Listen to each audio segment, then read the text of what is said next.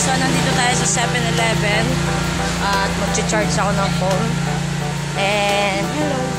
So, kasi wala nga dun sa bahay. Brown out po ng ano, 24 hours na. So, ayan. Charge tayo. Yeah, dito lang yan sa 7-Eleven. Ayan. So, nag-charge ako dito. Charge ka mo? Ano? Ayan, so meron na akong 23% pa lang. So, tingin ko dadagdagan pa natin so kasi 23% pa. So, saglit lang. Mabarya muna ako guys, saglit lang.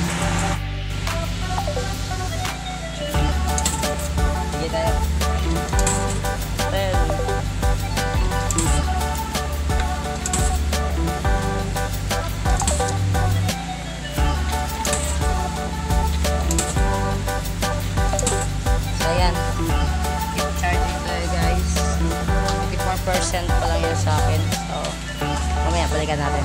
Ayan. Again, thank you so much for watching. Sorry, guys, sa wala tayong ano ngayon, wala tayong ah, internet mamaya pa.